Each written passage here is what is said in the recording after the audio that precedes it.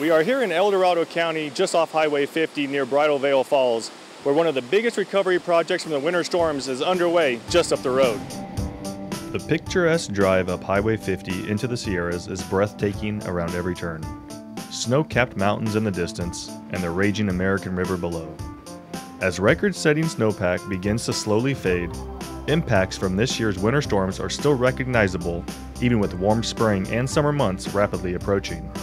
Atmospheric river storms caused considerable damage this winter up and down California. The endless amount of precipitation in a short time frame created public safety concerns.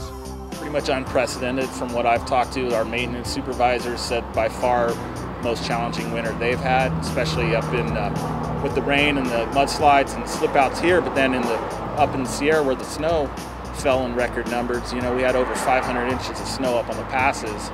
So it was just basically nonstop. We're finally kind of getting a break in the weather, but big challenges.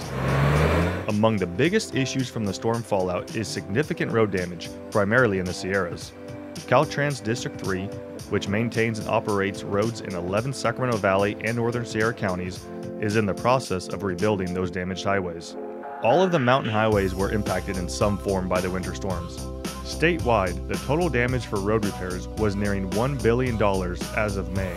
Off Highway 50 near Bridal Veil Falls, Caltrans is busy constructing a 600 foot wall after storms washed away the roadway.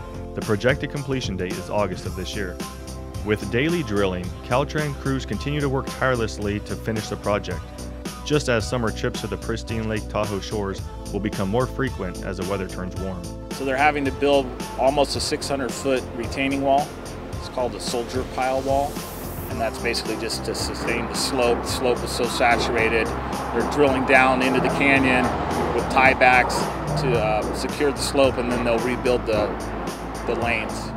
For more on this and other stories, visit our blog at oesnews.com.